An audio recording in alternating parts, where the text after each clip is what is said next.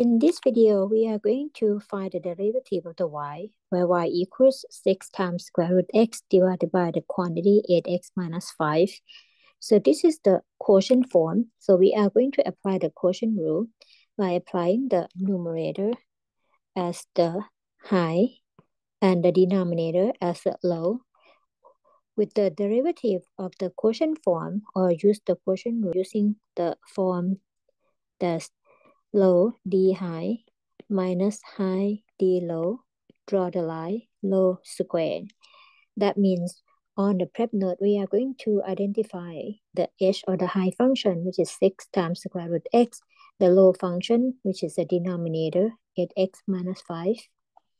The d high or the derivative of the numerator is the derivative of 6 times square root x. Note that the square root x is x to the power 1 half Therefore, the derivative of the 6 square root x is 6 times 1 over 2 times x to the power negative 1 half, which is simplified to be 3 times x to the power negative 1 half. For the derivative of the denominator, gonna be 8. Right now, we have all h, l, dh, dl, or the high, low, d high, d low. Bring, it, bring them back to the formula for the quotient rule.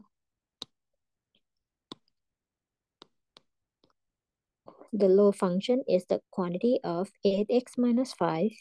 The d high is the quantity 3x to the power negative 1 half minus the high, which is the numerator function 6 times square root x multiplied by d low, which is the value 8, or divided by the low or 8x minus 5 quantity squared.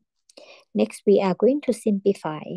When we simplify, let's see, it there are multiple ways to simplify this expression, uh, especially the numerator. We are going to leave the denominator as the quantity power 2. So in this case, let's go with the traditional way by multiplying or distributing the 3x to the power negative 1 half to 8x minus 5.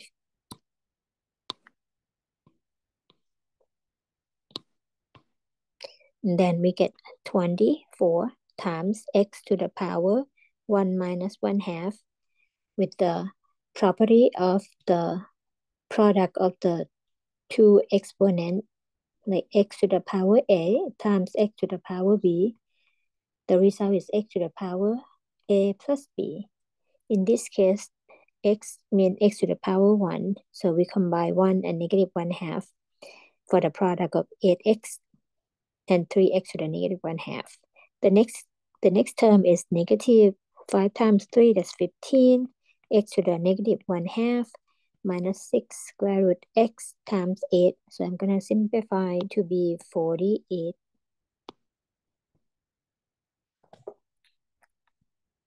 Forty-eight square root x, all divided by the quantity eight x minus five square.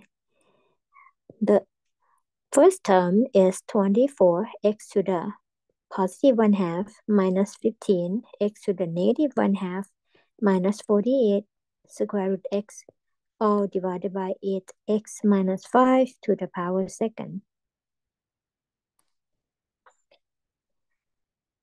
x to the power 1 half is the same as square root x.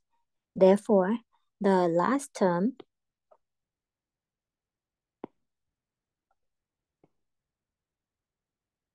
and the first term here, they can be combined as they are like terms.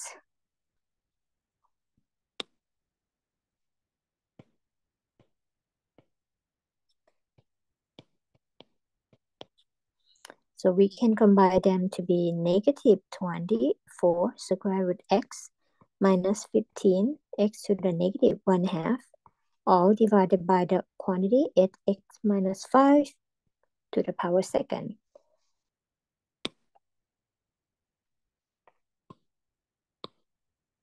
Now we got the derivative of the function y equals 6 square root x divided by 8x minus 5.